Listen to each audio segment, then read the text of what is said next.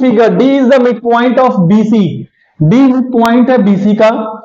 हमको फाइंड करना है find the value of cot y upon में कॉट एक्स देखो, अगर मिड पॉइंट है तो अगर हम ऐसा कह दें, अगर ये पूरी वैल्यू टू है तो ये वन और ये वन हो गया. चलो चेंज कर देते हैं. मतलब ये वैल्यू वन और ये वैल्यू भी वन मान लेते क्लियर है? देखो कॉट वाई की वैल्यू कैलकुलेट करते हैं. क्लियर देखो, यहाँ पे एंगल यहाँ से काउंट करना आपको। अगर हम वाई की बात करें तो एंगल ये वाला है वाई ठीक है? तो यहाँ से आप थीटा देखोगे। फॉर्मूला क्या होता है कॉट का?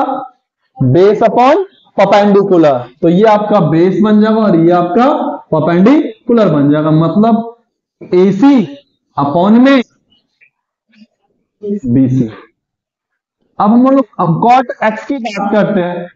तो एक्स ये वाला एंगल है तो ये हो गया बेस और ये हो गया पपेंडिकुलर बेस मतलब एसी पपेंडिकुलर मतलब सीधी क्वेश्चन बोला कॉट वाई अपॉन में कॉट एक्स करिए.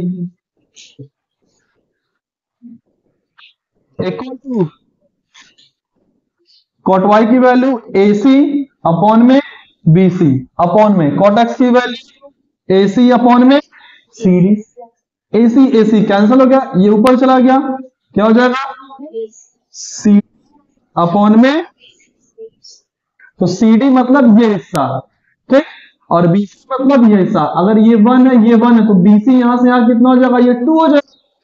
और सीडी की वैल्यू वन और बीसी की value two one upon two option number B is the right answer okay